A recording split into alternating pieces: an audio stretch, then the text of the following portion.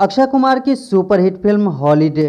के सिक्वल में मुख्य किरदार निभाएँगे टाइगर श्रॉफ दोस्तों, आज के इस वीडियो में हम आपको बताने वाले हैं एक ऐसी फ़िल्म के बारे में जिसकी वजह से टाइगर श्रॉफ बहुत ज़्यादा चर्चे में है। हेलो फ्रेंड्स मैं हूँ यश और आप देख रहे हैं बॉलीवुड ब्रेकफास्ट चैनल जी हाँ दोस्तों टाइगर श्रॉफ की आने वाली फ़िल्म हॉलीडे टू की ही बात कर रहा हूँ। ये फ़िल्म 2014 में रिलीज़ हुई अक्षय कुमार की सुपरहिट फ़िल्मों में से है, जिसमें अक्षय कुमार और सोनाक्षी सिन्हा ने मुख्य किरदार निभाया था। हॉलीडे फ़िल्म की शानदार सफलता के बाद अब निर्देशक ए आर मुरुगा दास इस फ़िल्म का दूसरा भाग यानी हॉलीडे टू लेकर आ रहे हैं, जिसमें टाइगर श्रॉफ मुख्य किरदार में दिखाई देने वाले हैं। इस फ़िल्म को टाइगर श्रॉफ के करियर का अब तक की सबसे बड़ी शानदार फ़िल्म माना जा रहा है, क्योंकि यह फ़िल्म ज़बरदस्त एक्शन से भरपूर बताई जा रही है, और यही वजह है कि दर्शकों को इस फ़िल्म का बेसब्री से इंतज़ार है।